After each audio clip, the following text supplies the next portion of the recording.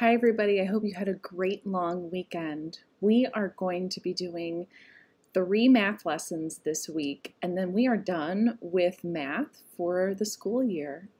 So that's really exciting. Um, today, we get to do an activity with a broken calculator, and I'll tell you all about it here in just a minute.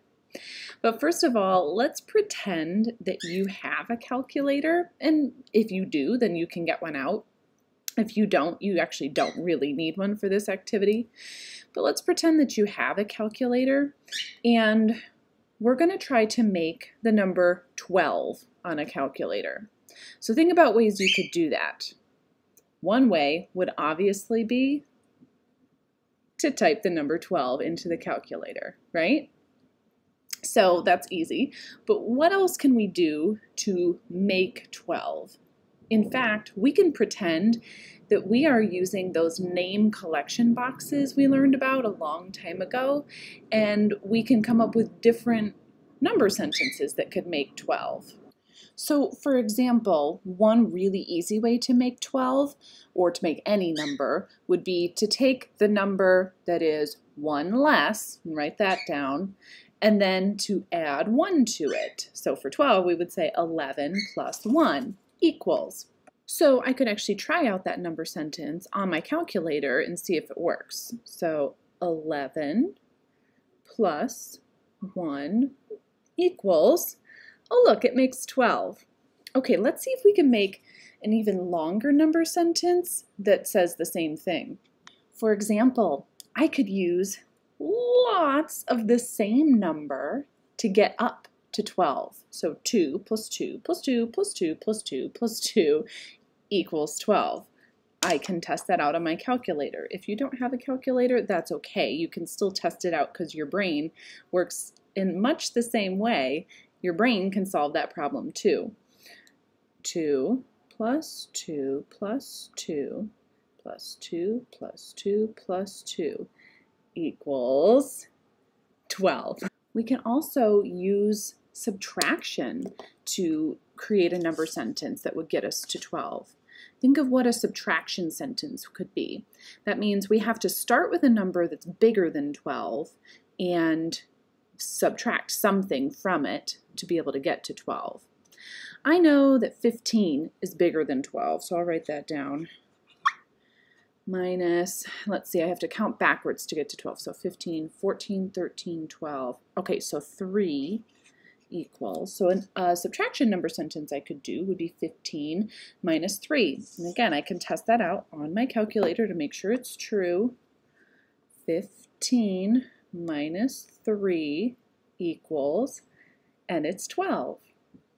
Okay, we're going to make this a little bit more complicated. I said we are going to be working with a broken calculator. Again, you don't actually need a calculator or a broken calculator to do this at all. We're going to be using our brains.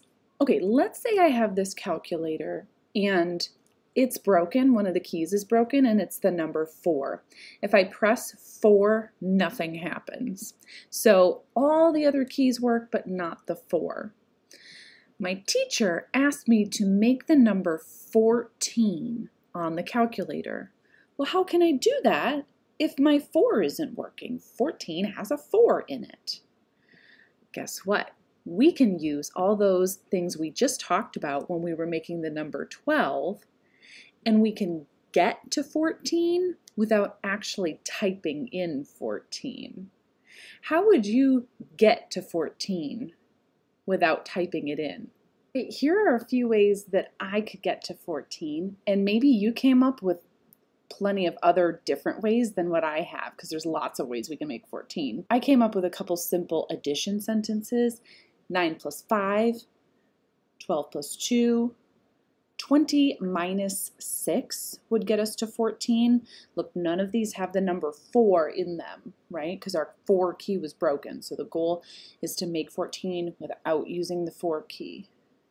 You can also do a much longer number sentence. You can break those numbers up like um, say you wanted to use 9 plus 5, you could also break up 9 even further and break up 5 even further. Make it something like this. 3 plus 2 plus 5 plus 1 plus 3. Well, 3 plus 2 is 5. 5 plus 5 is 10. 10 plus 1 is 11. 11 plus 3 equals 14. And if you wanted to test all those out on a calculator, you definitely could. But like I said, you don't need one for this activity. So today in our math journal, we're going to be looking at a page that has broken calculator number puzzles. So if you can get out your math journal and open to page 194, it looks like this. It says, use plus and minus to solve the broken calculator puzzles. Use a calculator to check your answers. Now again, if you don't have one, that's okay. But most phones or iPads or computers have a calculator built into them if you if you really do want to use one and you don't have a regular calculator at home. Okay, number one says, imagine your one key is broken. Write at least three ways to show 11 without using the one key. So that's exactly what we were just practicing. How can you use addition and subtraction? Maybe you could even write a really long number sentence to make 11, but no ones. You can't put any ones in your calculator. Number two says, imagine that your two key is broken. Write at least three ways to show 20 without using the two key. So in these spaces, you're going to have to write small because you might be writing really long number sentences, but try to use addition and subtraction to make these numbers. Number three says, imagine that your four key is broken. Write at least three ways to show 34 without using the four key. Okay, so our numbers are getting bigger and we can't use the four key here on number three. Number four says, write your own puzzle. Give it to your partner to solve. This is a fun one because you get to pick which number on the calculator is broken. You're going to write a little puzzle and have someone else in your house solve it.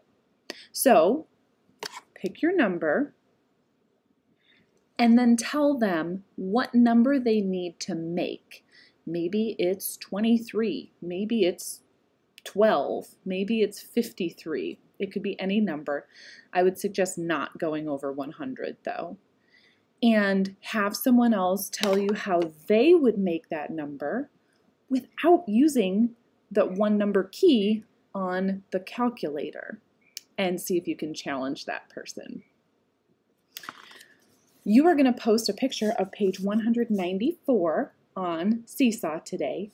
You're also going to do a page of math boxes, and that's the page right before 194. It's the page 193. I'm going to read these to you, and you are going to follow along, or you can do them on your own. Number one says, use two triangles to make a new shape.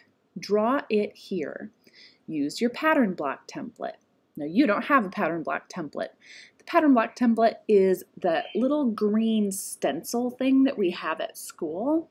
You don't have one of those at home. So you get to draw triangles just however you want. But it says to use two triangles to make a new shape. So you're going to draw them here in this space.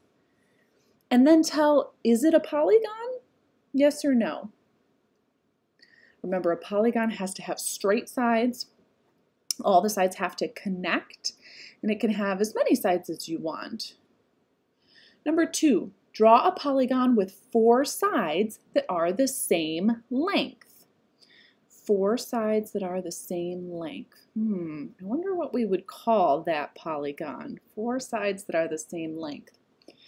Number three says, circle all the names for the colored region. Now here, the circle is divided up into four pieces. Two of them are colored. We want to know, what do we call this blue part? Would we call it one fourth, one of two equal pieces, one half, or whole? So um, there may be more than one answer since they said circle all the names. So you have to decide.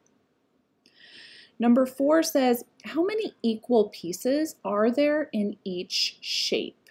Okay, so here in this shape, how many equal pieces? Here in this shape, how many equal pieces? And then it says color one of the smaller pieces. So whichever shape has smaller pieces, you're going to only color one of those pieces. So one shape won't have any color on it. Another shape will have one of the pieces colored. Hope that makes sense. Number five says you have 70 cents. You buy a pen for 40 cents. How much do you have left? Then you're going to write a number model. This is a lot like what we did the other day when we were playing store if you buy something at the store, you're probably going to get change because you, you gave too much money to the cashier.